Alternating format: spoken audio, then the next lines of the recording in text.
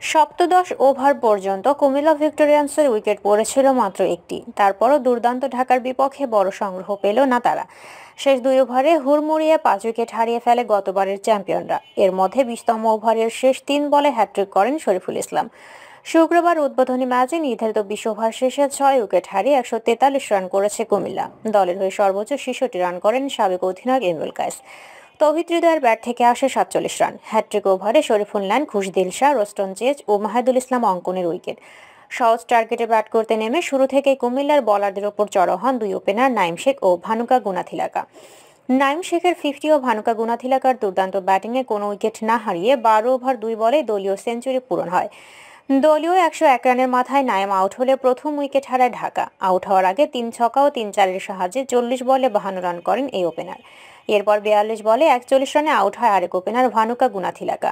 ফলে পনেরো ওভারে একশো আট রানের দুই উইকেট হারায় ঢাকা। টস হেরে ব্যাট করতে নেমে তেইশ রানের মাথায় প্রথম উইকেট হারায় কুমিল্লা।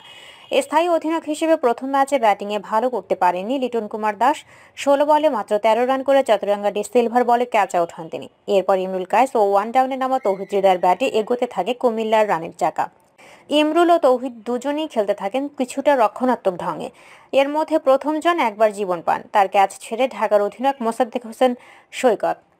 জীবন পেয়ে বিয়াল্লিশ বলে হাফ সেঞ্চুরি পূর্ণ করেন তিনি। বিপিএল ক্যারিয়ারে এটি তার দশম ফিফটি। মিরপুরের মন্থর উইকেটে পনেরো ওভারে দলীয় একশো রান পূর্ণ হয় কুমিল্লার। তারপরও ধীরগতিতেই খেলতে থাকেন ইমরুল হৃদয়।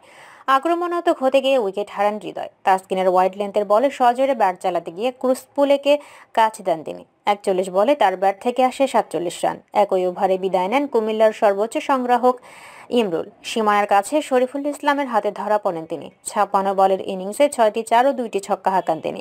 বিশতম ওভারের দ্বিতীয় ও তৃতীয় বলে খুশদিলের কাছে ছক্কা হজম করেন শরীফুল। পরের বলে পাকিস্তানি ব্যাটারকে সাজঘরে পাঠান এই পেসার। পরের দুই বলেও উইকেট শিকার করেন তিনি।